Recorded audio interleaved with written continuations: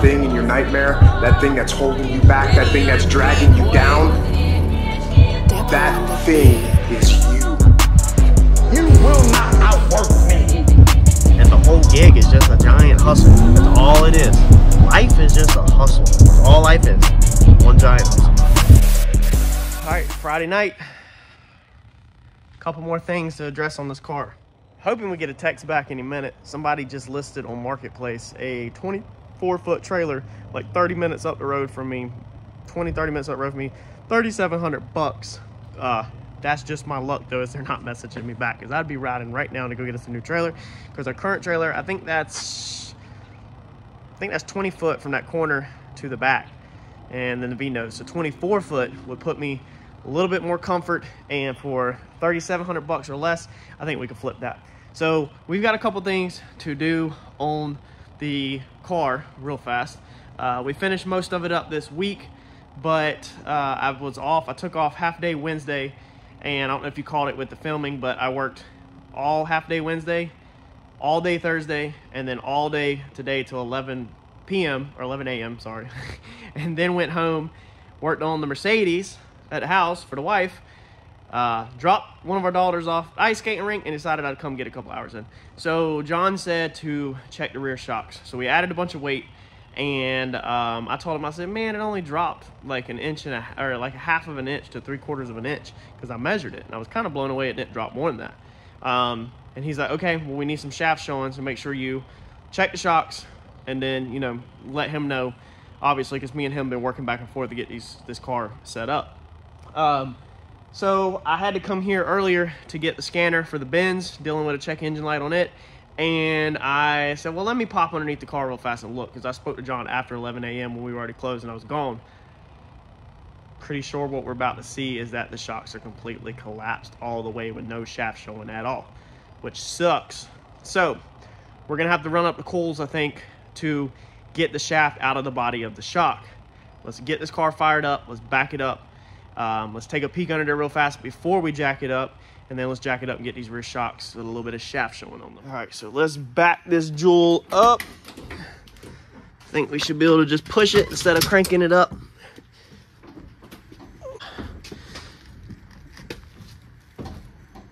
Come on, Nelly. All right, there we go.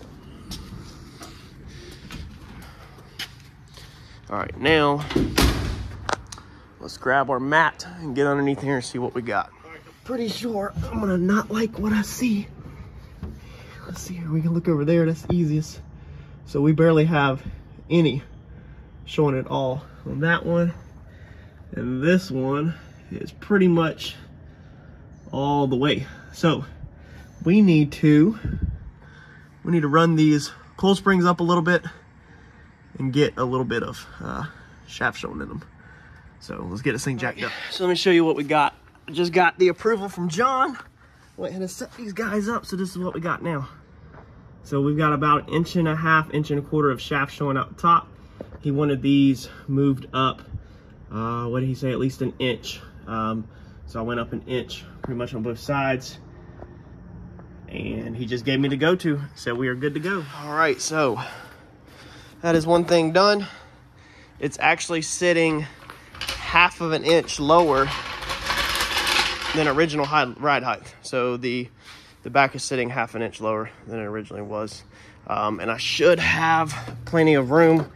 As y'all know, y'all watched John's video. He's a heavier cat. So when he sits in it, it will obviously squat down some more but than me.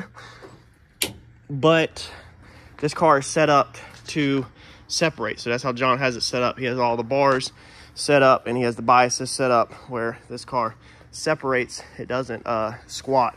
So that's that's what we're running. So we're perfectly fine as long as you make it to the starting line without scrubbing. And once you actually take off, the car separates. So I think we're good to go on that. Um, let's see here what else needs to be done. I got to do some electrical diagram work. I'm gonna try to do that in the morning with breakfast real fast. Basically, I got to sort out my uh, wiring diagram from Chris. So I guess what I'm gonna do now is maybe try to make a little grounds on this hood. So I'm gonna go ahead and try to get these things off of here, um, get the old pins off, maybe throw some tape on it real fast and sit the hood on there and see how close we are to uh, it fitting. And then of course, go ahead and figure out where I want to put the Dzus fasteners and see if I can go ahead and get the Dzus um, actual fasteners maybe riveted to the car tonight. Um, the plan is that for next week after testing, next week I want to get the hood done and I have a surprise for y'all. I'm not gonna see when this thing comes out and it goes to the State of the Union no prep race. Uh, I'm hoping that we have a fresh looking car uh, with a couple of uh, subtle changes, including a hood back on the car. So let's get out. Now, before I dive into that, I forgot one thing that we do have to do on the car is we got us a another filter. So y'all gonna kill me for this. That oil has still not been changed, um, and I'm still not changing it. So I have talked with a few people, and there's no right or wrong way to it. Really, it's all about what you're willing to uh, do. And I know a lot of people are going to not be happy with me about this but choice. I felt like the oil was not ready to be changed. Kevin told me every, he would do it every three outings is just his estimate, or there's a big or there. Out of his mouth, he said when the motor oil starts smelling like E85. When it smells like fuel, it's time for it to go. Last couple times I have not smelt fuel. It looks extremely clean. It smells good. And so I feel like it's not time to go. He said that the three outing rule is not necessarily a precise measurement. Every single car will be different, but definitely if it starts to smell like fuel, then it's time for it to go. So that's what I went off of. You know the credit card was maxed out, so we didn't have a ton of money to be spending on oil. We're trying to um, get that card credit card debt down. I have literally almost paid 50% of it off from when I blew the motor up. Second time I had it rebuilt. You remember we were $9,000 in the hole when we went back testing, and then we actually got put another 1400 in the hole on another car. We were about 10,000 in the hole when we first started testing this car when we blew this hood. Right after we blew this hood off, we were about 10 racks in the hole. Uh, I'm about 4,500 in the hole right now. So I've paid some down, but I'm still drowning on this card and I need to get more paid down. So I'm trying to spend very wisely and not spend a lot. Um, now I did buy the filter today and we had to order an engine diaper. So getting ready for this big race next weekend. Um, needed an engine diaper. I'll show you the deal I got on that when that comes in. I wanted to do the belly pan. I've already purchased the aluminum to belly pan but it's just simply slap out of time. Randy's car came in my life like a wrecking ball, and um, I was down for like a month, not being able to really mess with anything. So I just flat up don't have the time to put into um, doing the belly pan and all that stuff. So I got a chunk of diaper on it. Somehow it's just got to be chunked on there. Hopefully it don't melt the straps to get through that race. And then we can fine tune stuff if we want. So um, before we do the hood, let's do the more important things. Let's go ahead at least throw a filter in it and let's bust that clear view open and at least clean that out. And let's smell the oil just to make sure we're still in the clear. And um, I possibly ordering some new oil for it for the State of the Union race. Let's get at it. And I know y'all probably gonna kill me in the comment section over this motor oil that is cheaper than a motor, and I understand. Man, she's still clean. She's green as can be. Let's do the smell test, even though y'all can't smell it.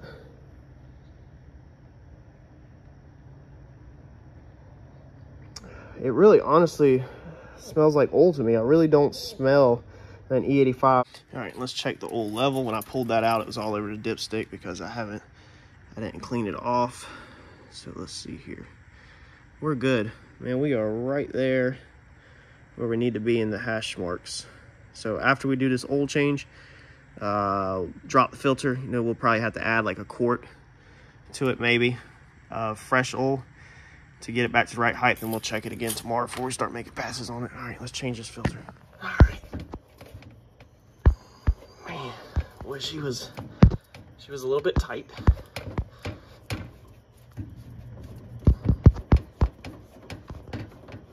Should just take the whole front bumper off. That's kind of the whole point of having Dzus fasteners is be able to take the whole front bumper off.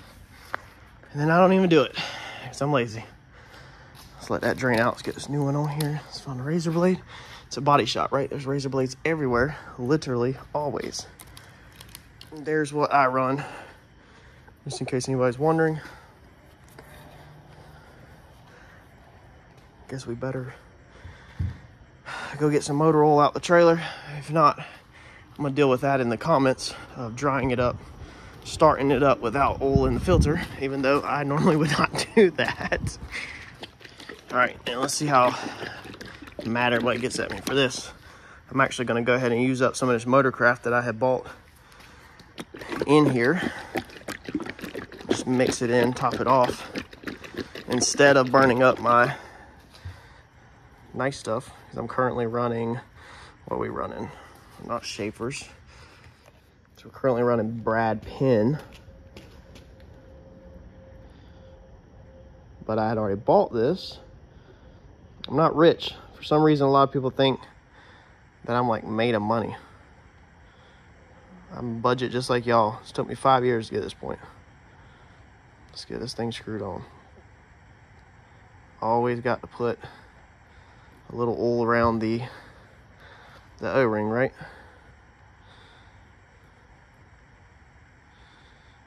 All right, let's put this guy. All right, let's check out what we got before we drop the clear view.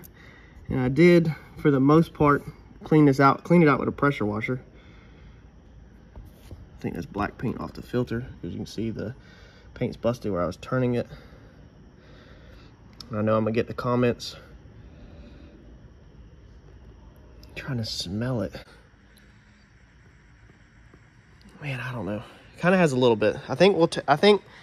I think what we're gonna do is we're gonna test on this, obviously, because it's literally in the morning, and then we will swap the oil out before the big race.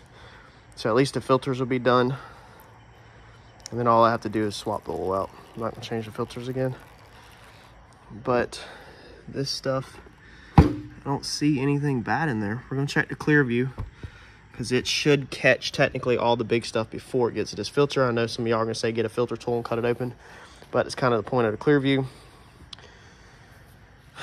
So let's get let's get it opened up. I guess that thing's gonna make a mess. Honestly never checked it. Let's see here. I think I need to hit a little bit of air to it first to get the oil off the top to push it back down so that it's not so messy. And then we will crack these bolts open in the top. And we'll take it apart and see what we got. All right, I put this down here just in case we drop anything, but nothing come out. So this is the first time I've ever took this thing apart. So I wasn't 100% sure what's gonna happen. On a fun note, the dude with the trailer did just message me back. And I'm trying to set up a time to go see it in the morning. Oh, looks like we got lots of trash down in there. All right, let's get this one out the way. Just sit that guy. Let me get these washers off before I lose them. Turn that one upside down. Get this screen out of there. All right. Turn the light on on the camera. Dude messed me back with trailers, so we're gonna try to go look at that in the morning. So that don't look terrible. I mean, a lot of people said that be careful with the clear views because they will freak you out. Um, it don't really freak me out at all. I'm really not. It's a bunch of black stuff. Uh, bearing material, I believe, would be copperish. Uh, correct me if I'm wrong. man, that just, I don't even know what it is. What do y'all think the black stuff is? Hmm. It is crazy how much that captures, though. I've got, the way I've got mine plumbed is I have this plumbed in before the other filter. So the fuel goes through here, or the oil goes through here, so that it will collect the trash so I can see it. And then anything that makes its way through this filter then goes into your normal spin-on filter. So the normal spin-on filter shouldn't be doing too much, but it's just kind of a secondary backup to this one. Uh, let me know in the comments what you think. I personally don't know a lot about motors, but I think that's uh, perfectly fine. I mean, I don't really see, I know I can probably see it better than y'all can in person, but I don't really see no copper chunks or a lot of metal or nothing. I just see a lot of that black.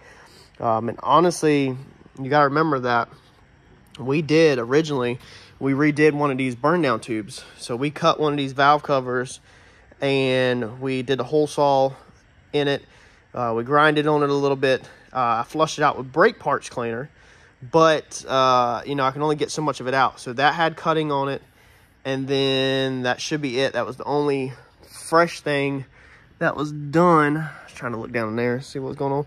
Uh, fresh thing that was done to the motor because it was just rebuilt.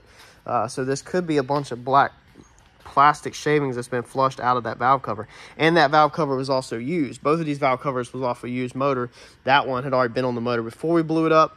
This one was put on the motor. Uh, I think it was this one or that one. Maybe that one. Whichever one. One was put on the motor after TKM rebuilt it for the second time.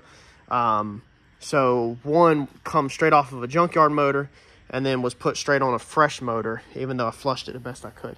So it could be some crap out of the valve cover and the rest of it could just be whatever. I don't know. Let me know in the comment. I'm gonna take a picture of it, uh, save it just in case. And I need to, I guess, start counting how many passes I have on the motor and all that. I guess I need to start getting a little more organized now that we are we're still testing, but we're trying to go towards actual racing. As you can see, that's what I'm literally doing here. Um, so I probably need to get a little more organized on keeping track of all my data and stuff. But let me photograph this and put this back together. And I did just shoot Kevin an email with the two things and said, check this out, you're my engine's daddy. So I figured I would show you uh, what it looks like. We'll see what Kevin says. And yes, I did see if you're on Facebook, uh, this, I think his name is Jake, whatever that's been passing around, or Josh, whoever dude is, uh, about the clear views. He's been talking smack about them. Uh, his was a spin-on one uh, from my research. The spin-on filter housings and the uh, ones like this that don't spin on are a little bit different. basically, the top part is the same, but the bottom part, you know, filters through another filter. Um, mine just goes in and out through that. Um, and anyway, I had shared the post where the owner of the Clearview had put his response up on the internet. And then this Josh or Jake, whoever he is, wanted to actually share another link underneath my post on Facebook about of his newest video. Um, and I basically told him to take his BS on somewhere. Um, not very welcoming to somebody coming on my personal Facebook page. Not even friends with the cat. I guess he's just going through everybody's shares and literally just posting this new YouTube video, uh, whatever it is, to everybody that shares the one from the Clearview manufacturer. Um, I didn't even watch it. I'm not giving him no time of the day. Uh, this Clearview company has built obviously a good product uh, that's been around for a while. There's been a lot of motors that have, you know, ran for a very long time with the Clearview with no issue at all. Uh, if uh, me being a business owner, if I understand that if there was an issue with the product, it would have already showed its face. Uh, just this one uh, Joe guy, Josh, Jerry, John, whatever his name is. Uh, it wouldn't have just all of a sudden happened to one cat, okay? It would have already showed its face. That's not how a failure works on a product. That's why when you have a, a brand new car, that comes out and it gets a recall, it's because there's been multiple failures. Okay, and the same thing with the Lemon brand on a car. You know, if it can't be repaired, it gets branded a Lemon when it's brand new. It only applies to a brand new car, not a used car. There's a quick fact if you didn't know that. It does not apply to used cars.